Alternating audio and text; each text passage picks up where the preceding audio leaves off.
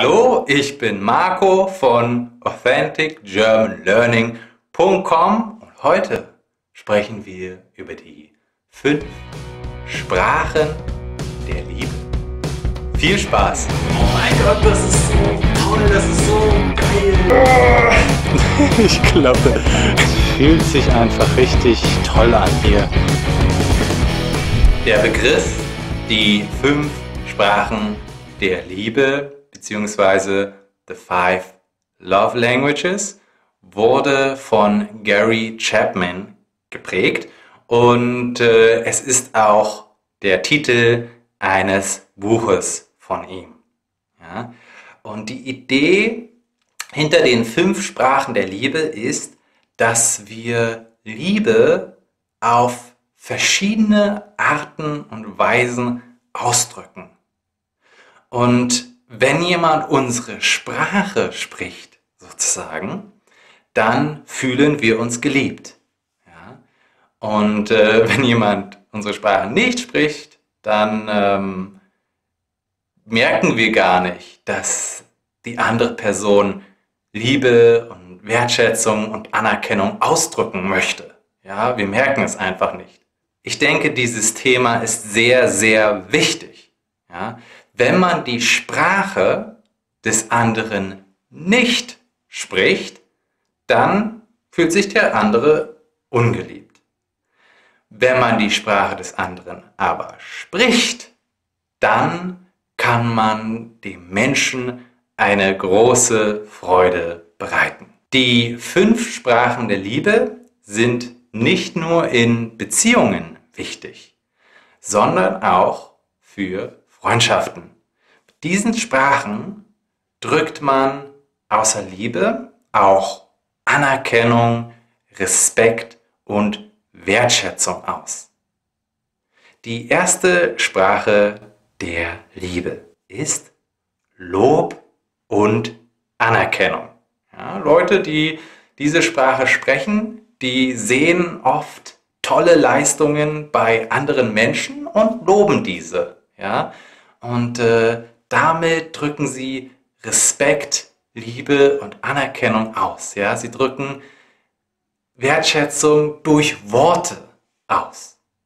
Das Ganze passiert auch oft ganz automatisch. Die Leute, die diese Sprache sprechen, merken manchmal gar nicht, dass sie jemanden loben. Ja, für sie ist das Ganze natürlich ähm, Anerkennung durch Lobe auszudrücken. Die zweite Sprache der Liebe ist Zweisamkeit. Ja? Es geht um Zeit, die eine hohe Qualität hat. Es geht um Zeit, die man nur miteinander verbringt. Ja? Ähm, es ist Zeit ohne Ablenkungen und Störungen. Ja? Also das Handy wird weggelegt und man gibt dem anderen die volle Aufmerksamkeit. Man verbringt die Zeit bewusst miteinander.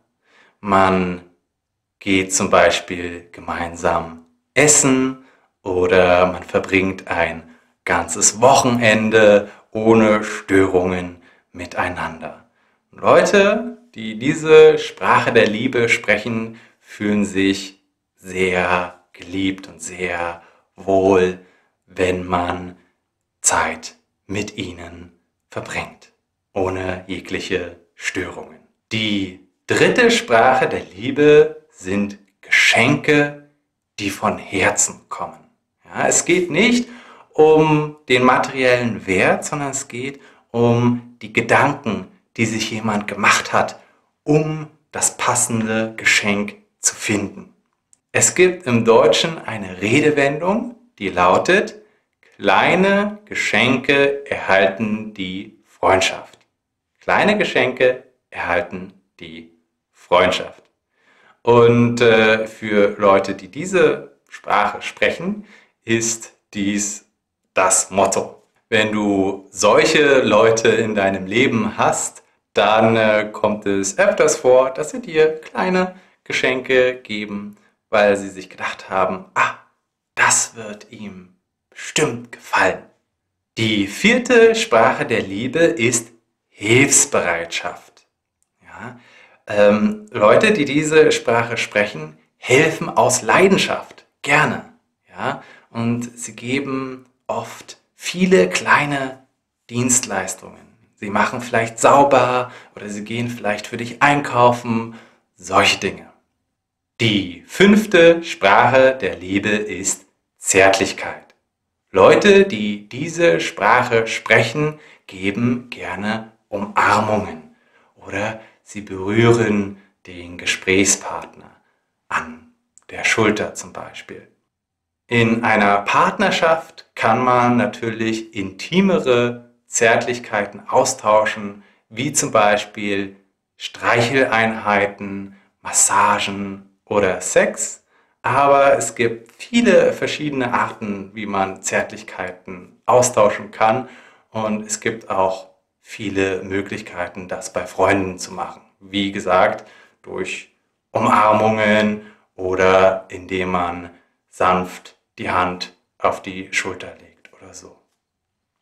Das waren die fünf Sprachen der Liebe. Probiere es mal aus und achte darauf, welche Sprachen der Liebe die Menschen um dich herum sprechen.